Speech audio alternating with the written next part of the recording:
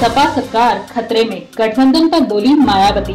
मायावती ने सपा सरकार पर हमला बोला है। पिछले लोकसभा चुनाव में बसा ने नहीं, बल्कि सपा ने अपना वोट भाजपा को ट्रांसफ़र कराया था, जिसकी वजह से सपा की स्थिति खराब बनी हुई है।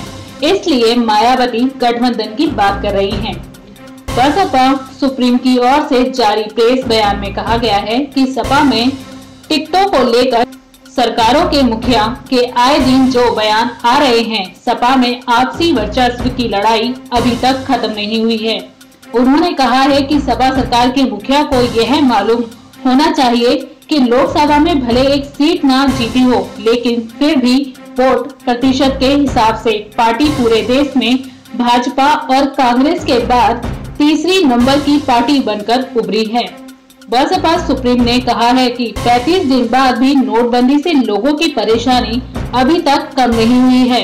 ऐसे हालातों में प्रधानमंत्री नरेंद्र मोदी को इस फैसले की समीक्षा करनी चाहिए।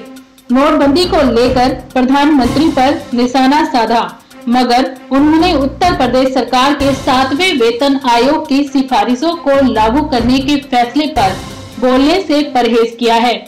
साथ मुख्यमंत्री अखिलेश यादव को सपा सरकार का मुखिया कहा है। ऐसे न्यूज़ की रिपोर्ट।